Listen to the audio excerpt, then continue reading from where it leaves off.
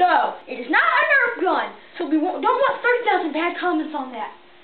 It's some random air pump rocket thing. Kyle Schaefer's going to tell you more about this one. Hello. Hello, I'm Kyle Schaefer, and I'll explain to you about this gun. And as Kyle said, this is not a Nerf gun. Okay, now I'll explain good and bad features about this gun. First, a good feature is it has really easy pumping. And whoops, I shot it. Another good feature about this is if somebody's coming at you have no ammo left, and somebody's coming at you with an N-Force sword, you go, ah! a bad feature about this is when you go like this to shoot it, it really hurts your hand. Another bad feature about this is the rockets aren't very accurate. And now I'll demonstrate this on Kyle.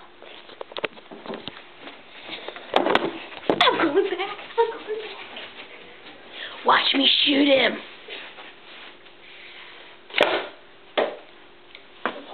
That one was actually pretty accurate. Yeah, that was. And so was that one. Amazing. Right,